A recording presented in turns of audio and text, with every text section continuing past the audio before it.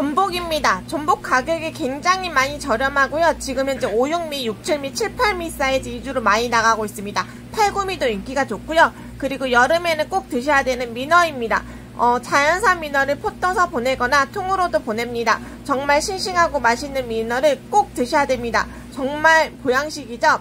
그리고 여름철에 빼놓을 수 없는 국내산 토종닭입니다. 약재도 같이 포함돼서 보내고 있고요. 오리도 국내산 약재도 같이 포함해서 보내드립니다. 정말 맛있습니다. 그리고 참소라입니다. 국내산 참소라가 인기가 정말 좋습니다. 참소라가요. 지금 계속적으로 물량이 많이 나오고 있습니다. 날씨가 따뜻해서인지 판장이 굉장히 많이 나오고 있다고 생각하시면 될 것 같습니다. 국내산 참소라의 모습이고요. 그 다음에 관자입니다. 국내산 관자 어, 5개씩 판매하고 있습니다. 10개 필요하시면 10개도 보내드리고 저희가 까서 보내드리고 있습니다. 그리고 국내산 돌문어입니다. 돌문어가 인기가 정말 좋습니다. 닭에 넣어서도 마, 맛있고 숙해 드셔도 맛있습니다.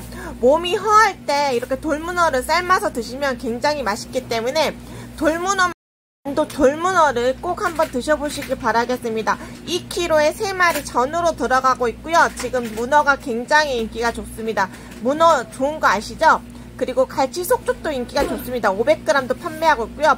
4kg는 엄물 봉지로 갑니다. 오징어젓하고 갈치 속젓 판매합니다. 그리고 부세 보리굴비입니다. 왕특대 부세굴비고요. 중국산입니다. 가공은 국내에서 했고요.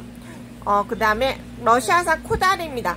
코다리도 인기가 정말 좋은 것 같습니다. 집에서 어, 내장이 제거되어 있으니까 쉽게 손질할 수 있고요.